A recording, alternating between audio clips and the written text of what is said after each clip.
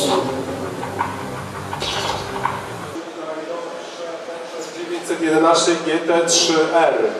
Jak widzicie samochód ten na pewno robi oszałamiające wrażenie, e, ale proszę mieć na uwadze, że wszystkie elementy jego nadwozia, wszystkie elementy jego silnika, konstrukcji mają tylko jeden cel.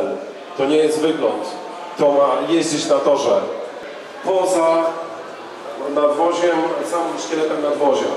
E, Tam e, samochód ten e, został zbudowany w oparciu o drogową wersję samochodu 911. Natomiast każdy inny element, tak zawieszenia, tak silnika, tak podwozia jest budowany tylko dla tego samochodu.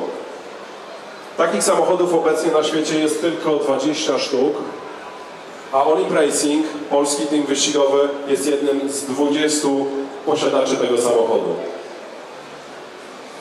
Samochód ten będziecie mogli zobaczyć na torze w Poznaniu w jednej z eliminacji em, Mistrzostw Europy,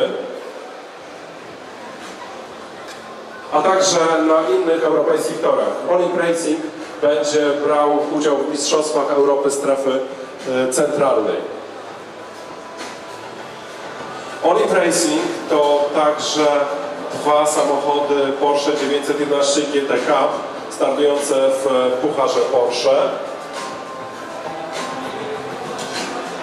A także jeden samochód Porsche 911 Super Cup.